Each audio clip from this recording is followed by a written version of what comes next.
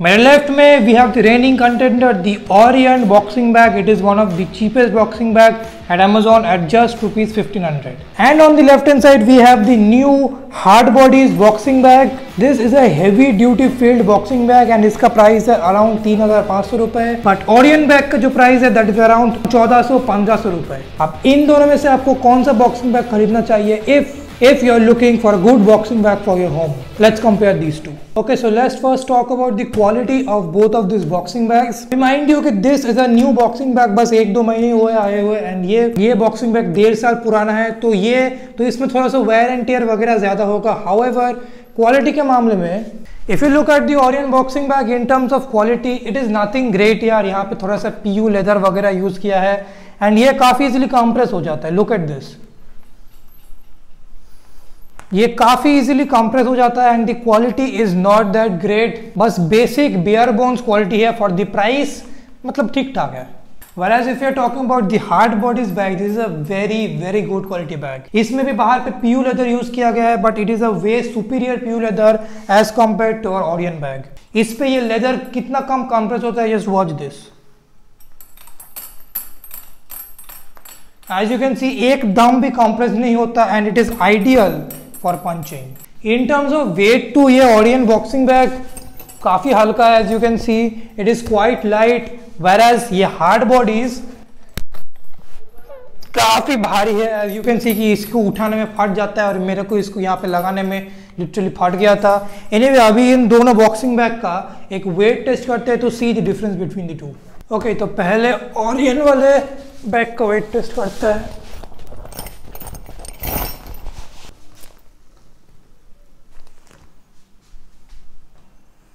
Okay तो Orion वाला bag का वेट जैसे आप देख पा रहे इट्स 19.90 मतलब मतलब हम लोग एज्यूम कर सकते हैं कि इस बैग का वेट अराउंड 20 के है। अभी इस हार्ड बॉडीज बैग का हम वेट टेस्ट करते हैं, कितना वेट है? भाई भाई भाई भाई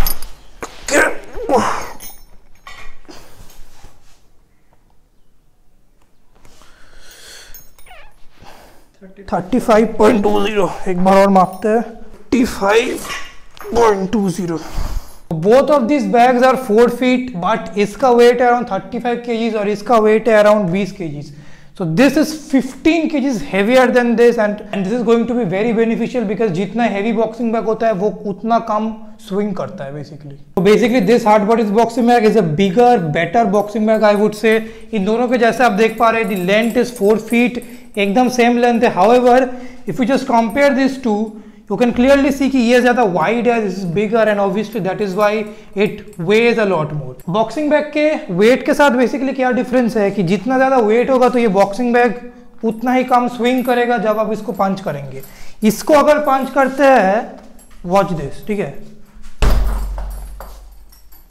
अब अब इसको पंच करने के लिए देखो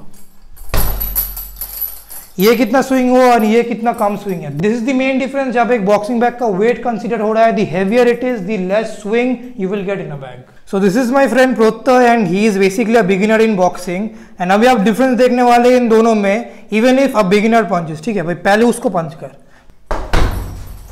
अब हार्ड वर्ड इसको पंच कर। तो as you can see even if even beginners के लिए I would say hard body is a better bag so the reason why ये पंच करने में इतना ईजी है एंड ये इतना सॉफ्ट है इज़ बिकॉज़ अगर हम इसके अंदर फीलिंग देखें, सामने आ जा भाई। तो इसके अंदर अगर हम फीलिंग देखें तो जैसे आप देख रहे हैं this is industrial cloth wears basically and ये बस ऐसे ही डाल दिया है अंदर में, ठीक है? मतलब कोई पैकेट्स के अंदर डाल के नहीं डाला है तो this makes it very soft and even the quantity of the filling used is not that is not that good इसीलिए आप देख रहे हैं कि ये देखिए कि मैं इस पार्ट को इजीली ऐसे पकड़ पा रहा हूँ। Wise if we compare this इस पे अगर मैं आपको फीलिंग दिखाऊँ, सामने आ जा भाई। इस पे मैं अगर आपको फीलिंग दिखाऊँ तो जैसे आप देख रहे हैं, ऐसे छोटे छोटे प्लास्टिक बैग्स में इन्होंने भी इंडस्ट्रियल क्लोथिंग यूज़ किया है। हाउ इन ऐसे छोटे छोटे बैग्स में इंडस्ट्रियल क्लोथिंग यूज़ किया है सो so दैट ये ज़्यादा डेंस रहे और ये जो फिलिंग है इसके अंदर, ये गिर के ना आ जाए, ठीक है? ये नीचे कंप्रेस कम होगा एज कंपेयर टू दिस ये बहुत ज़्यादा कंप्रेस होगा एंड ऊपर कोई फीलिंग नहीं है as you can see how इसमें this portion and this portion feels the same however इस पे जैसे आप देख रहे हैं कि ऊपर के पोर्शन में सब फीलिंग पूरा नीचे सेटल हो गया है। बॉक्सिंग बैग जैसा आपके ओल्ड होता है तो फीलिंग्स थोड़ा सा नीचे सेटल होता है। बट अगर आपका बॉक्सिंग बैग एकदम कॉम्पैक्ट तरीके से पैक्ड है, पूरा पूरा ऊपर तक ऐसे पैक्ड है देन वो चांसेस आपके लिए कम होगा as compare to this one look at this just look at this boxing bag ऐसे होना चाहिए। And, and then look at this this is the difference between a cheap and an expensive bag okay so comparing the quality of the hanging chain it's not the most important thing of course however a long term ke liye matter karta hai I would say the quality on both of these chains are pretty good. Of course, the hard bodies is better as you can see. It's bigger and better and ये देखने में नया लग रहा है because the bag is also new. ये पुराना हो चुका है एंड आई वुडेंट से आई कि मुझे इस हैंगिंग चेन के साथ कभी भी कोई प्रॉब्लम आया है हाउएवर रिसेंटली एक प्रॉब्लम जो आ रहा है वॉच दिस बेसिकली ये पार्ट जो आप देख रहे हैं हैंगिंग चेन का this let's the boxing bag revolve 360 degrees properly अभी इस बॉक्सिंग बैग को घुमा के दिखाते हो कि क्या प्रॉब्लम होता है. वॉच दिस कोई भी प्रॉब्लम नहीं होगा। Okay so test number two को तो मुझे पता नहीं, अभी क्यों प्रॉब्लम नहीं दिखा रहा बट कुछ देर पहले ही थोड़ा सा प्रॉब्लम दिखा रहा था। यहाँ पे थोड़ा सा कट कट करके आवाज़ हो रहा था बट अभी नहीं हो रहा। तो I would say the Orient hanging quality is not bad however the Hard Bodies is just better look at this smooth rotation it rotate smoothly and जैसे आप ऐसे पंच करते हैं the back tends to rotate ऐसे। तो आपको भी problem नहीं होगा कि बैग कोई पर्टिकुलर पोजीशन में अटक जाए। However both of this hanging chains are good ये कभी गिर के टूटा नहीं है एंड ये 20 के है। ऑफकोर्स टूटना भी नहीं चाहिए। But overall both of them are not very different in my opinion तो अभी मैं आपको इसका एक पंचिंग टेस्ट दिखाता हूँ। अनफॉर्चुनेटली मुझे ग्राउंड पे ऐसे ही करके करना होगा बिकॉज़ ये बिकॉज़ ये पुला बर्ड से काफ़ी हैंग करा है। So punching test of the body and bag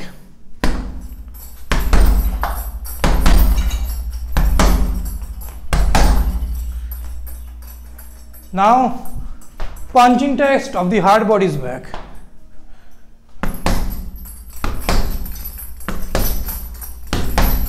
Now I am not the hardest puncher, you know. मैं, मुझे बस बॉक्सिंग के थोड़े से कुछ बेसिक्स आते हैं. हाउएवर इवन विद दैट ये बॉक्सिंग बैग ये काफ़ी ज़्यादा मूव करता है. Watch this it moves a lot where ये ज़्यादा मूव नहीं करता. तो you know if you are looking for a good punching bag you know जहाँ पे आप आराम से बॉक्सिंग कर पाइए ज़्यादा इधर उधर ऐसे ना हिले then the Hard Bodies bag is way way better as compare to the Orient bag you know this is 20 KGs but even with that ये काफ़ी ज़्यादा मूव होता है। And if you are thinking about kicking kicking के लिए I don't think you can use this bag at all because यार punching से इतना मूव हो रहा है तो किकिंग से तो भाई बैग ही उड़ जाएगा तुम्हारा पूरा। Whereas विद this bag, इसका एक five feet six feet version भी आता है, so I think that will be better for kicking because The 5 feet version weighs anywhere from 45 kgs I guess and the 6 feet version weighs 55 kgs. So that is ideal for kicking. However, with this 4 feet back too, I bet you can kick. I'm not gonna kick.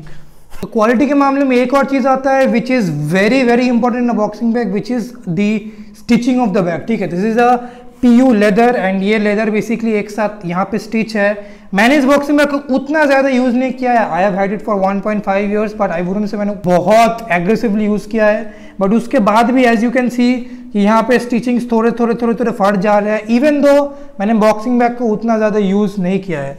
However इसका अगर आप stitching का quality देखें then this is how the stitching quality is mind you this is a brand new bag ठीक है? इसीलिए इसका stitching of course better होने वाला है। बट ये जो स्टिचिंग की क्वालिटी है और ये जो क्वालिटी है they are very very different and this is very good brand इस पर क्लेम करती है कि ये 10 साल ये स्टिचिंग आराम से चल जाएगा with moderate to heavy use ये स्टिचिंग 10 साल चल जाएगा। ऑरियन ऐसा कुछ भी क्लेम नहीं करता। एंड ज़्यादातर लोग जो ऑरियन का बैग खरीदते हैं, वो छः महीने से एक साल के अंदर टूट जाता है। My opinion if you are looking for a good quality boxing bag which will last for a long time जो पंचिंग के लिए अच्छा है किकिंग के लिए अच्छा है then the Hard Bodies one is going to be for you yes it cost twice as much as the Orient one वो अराउंड पंद्रह सौ है, ये अराउंड थर्टी फाइव हंड्रेड है। बट ऑरियन बैग आपको ज़्यादा दिन लास्ट नहीं करेगा, ठीक है? It will last you a maximum of six months to one year मेरे को अराउंड डेढ़ साल चल रहा है एंड अभी कुछ दिन में ही स्टिचिंग फटने वाला है pretty sure even though I have not use it as much अगर मैं इसको ज़्यादा यूज़ करता हूँ then I am pretty sure कि ये बहुत ही जल्दी फट जाएगा. Whereas with this bag the stitching and the quality is way too good for me to doubt the ability कि इसमें ये फट जाएगा कि नहीं. एंड दी कंपनी क्लेम्स कि 10 साल मॉडरेट टू हैवी यूज़ पे आराम से चल जाएगा. तो if you want a good quality boxing bag and अगर आपके पास बजट है I would definitely recommend you this bag over the over the Orient bag अगर आप खुद पैसे कमाते हैं, अगर खुद पैसों से अगर एक बॉक्सिंग बैग खरीदना है और अगर आप सोच रहे कि ज़्यादा नहीं खर्च सकता आई वुड स्टिल से कि पैसे थोड़े एक दो महीने के लिए सेव अप कर लो and get this bag because with this bag you know अगर आप खरीदते हैं पंद्रह सौ रुपए में छह महीने से एक साल में ये टूटने वाला है। फिर आपको एक नया बॉक्सिंग बैग खरीदना होगा। फिर आपने एक ऑरियन का बैग खरीदा तो पंद्रह सौ पंद्रह सौ, तीन हज़ार आपको लगा। And the quality difference between this and this आपने तो इस वीडियो के थ्रू अंडरस्टैंड कर ही लिया। So you are spending more money with this अगर आप लॉन्ग टर्म के परस्पेक्टिव से देखें, दो, तीन साल के परस्पेक्टिव से देखें you are spending more money with this as compare to this so for most people I would recommend you this bag over this bag. However, there's still an audience for this bag. Okay, so who should buy this bag? I think जो भी ज़्यादा teenagers है you know in school अगर आपके मम्मी पापा पे for your needs then you should buy this bag you know मैंने इस बैग को कब खरीदा था मुझे पता है मैंने बस रॉकी बैलबोआ देखा था मुझे बहुत पंची करने का शौक उठा था कि भाई मैं इंडिया को रिप्रेजेंट करूँगा वगैरह वगैरह वगैरह एंड मैंने बॉक्सिंग बैग खरीद लिया और दो तीन हफ़्ते के बाद मेरा शौक मिट गया and then I stop using तो if you are one of those people कि आप अगर मूवी देखे हैं और आप बहुत इंस्पायर्ड हो गए हैं बॉक्सिंग करने के लिए then you should get this back because I am pretty sure कि, कुछ महीनों में आपका जो बॉक्सिंग का शौक है वो गिरने वाला है। In that case if you are student अगर आपके मम्मी पापा आपके लिए पैसे दे रहे हैं और मम्मी पापा अगर और मम्मी पापा अगर एक हज़ार पाँच सौ रुपए से ज़्यादा नहीं देंगे then you can get this bag however for anyone else serious about training wants a good quality boxing bag अगर आप बॉक्सिंग को लेकर सीरियस है this is the bag you should be going for. In both of these this bag is way better in terms of everything and even i would say कि this is a better value for money the reason is कि ये long lasting नहीं है यार। अगर ये around दो तीन साल चल जाता तो मैं आपको बोल देता कि ठीक है, ये खरीद लो बट ये छः महीने से एक साल ही चलने वाला है whereas this is a better value for money because this will last you a very long time तो अगर आपको अभी इस हार्ड बॉडीज बैग या फिर इस ओरियन बैग को खरीदना है तो मैं डिस्क्रिप्शन में लिंक छोड़ दूँगा to buy both of these bags इन दोनों बैग्स में मैंने एक इंडिविजुअल रिव्यू भी कर रखा है तो अगर आपको देखना है, इस बैग का रिव्यू या फिर इस बैग का review go check out this videos right over here